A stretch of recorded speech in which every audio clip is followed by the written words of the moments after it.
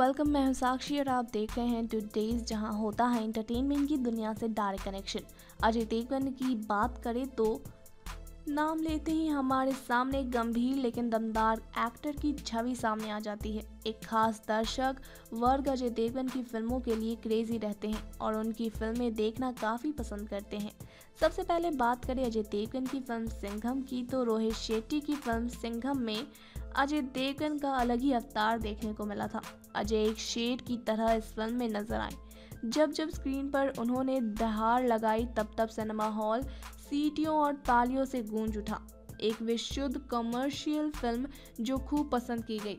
इस फ़िल्म में अजय देवगन को दादा साहेब फाल्के अवार्ड भी दिया गया था। दृश्यम अजय देवगन की एक फ़िल्म बेहतरीन थी। विजय सालंगवकर के किरदार में अजय देवगन ने दर्शकों के दिलो दिमाग पर छाप छोड़ दी है। एक निडर पुलिस ऑफिसर की कहानी जो किसी शक्तिशाली, भ्रष्ट और खतरनाक व्यक्ति से उलझने में जरा भी नहीं डरता। एक ठोस स्क्रिप्ट जो दर्शकों को बाँध कर रखती है। Once upon a time in Mumbai की बात करें तो जोरदार संवाद एक दूसरे पर हावी होने वाले दृश्य, ज़बरदस्त एक्शन सुल्तान मिर्ज़ा के किरदार में हमें अजय देवगन दमदार लगे थे। शायद ही कोई और इस किरदार को इतने बेहतरीन ढंग से निभा ले जाता। ओंकारा विशाल भारद्वाज की इस फ़िल्म में अजय देवगन ओंकारा शुल्क के किरदार में थे। फ़िल्म को तो जो तारीफ़ मिली, वो तो मिली ही, लेकिन अजय देवगन ने इस किरदार में जान लगा दी थी। ओंकारा उन्हीं फ़िल्मों में से एक है। यह फ़िल्म मनोरंजन के साथ साथ गहरे अर्थ के लिए हुए हैं। फ़िल्म के अंत में अजय के पात्र से दर्शक नफरत करते हैं और यह अजय के अभिनय का कमाल है। रेनकोट, ऐश्वर्या राय के साथ इस फ़िल्म में अजय देवगन की जोड़ी बेहतरीन है। अजय देवगन के करियर की एक अलग ही तरह की फ़िल्म है। एक ही घर में सेट भारतीय सिनेमा के दो बड़े सितारे टिपिकल बॉलीवुड फ़िल्म से अलग ही अंदाज में दिखे। अजय ने ऐसी भावपूर्ण भूमिका बहुत कम निभाई है। गंगा जल साल 2003 में आई प्रकाश झा की फ़िल्म गंगा जल को लोगों ने काफ़ी पसंद किया था।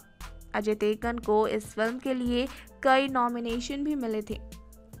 हम दिल दे चुके सनम, संजय लीला बंसाली की इस फ़िल्म में ऐश्वर्या और सलमान की जोड़ी भले ही सहराई गई थी, लेकिन वनराज की सादगी ने लोगों के दिलों में जगह बनाई थी। लेजेंड ऑफ़ भगत सिंह इस फ़िल्म के अजय देवगन को नेशनल अवार्ड से सम्मानित किया गया था। इसके साथ ही फ़िल्म फेयर क्रिटिक अवार्ड भी वह अपने नाम कर चुके हैं।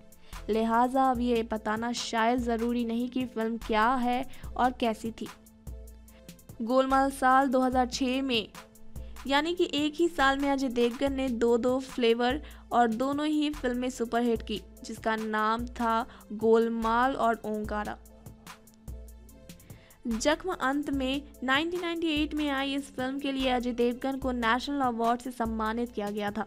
कुछ नहीं बदला तो सुपरस्टार देवगन। बता दें कि अजय देवगन कमर्शियल फ़िल्मों के साथ साथ ऐसी फ़िल्में भी करते हैं जो उनके अंदर मौजूद कलाकार को संतुष्टि दे। अजय देवगन अपनी फैंस को कभी निराश नहीं करते और अपने किरदार के हिसाब से कहानी में ढल जाते हैं।